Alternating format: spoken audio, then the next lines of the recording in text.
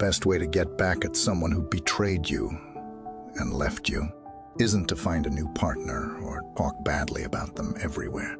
Instead, you should focus on doing these three things. If you do them, you'll be the ultimate winner. First, stop paying attention to them. Since they chose to betray you, whatever they do, whether finding new love or having a worse life than you, it's all irrelevant to you.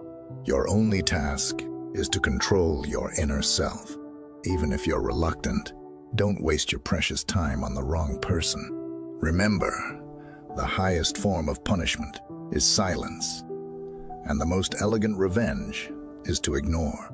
Second, make peace with yourself.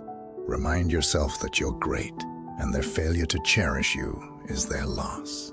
When you start missing them, ask yourself if they really treated you well.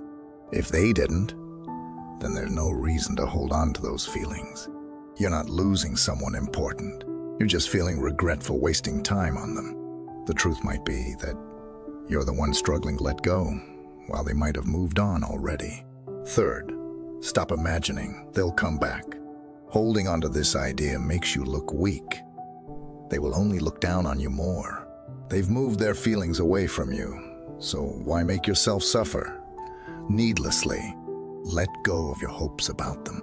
If you have no expectations, you won't feel disappointed.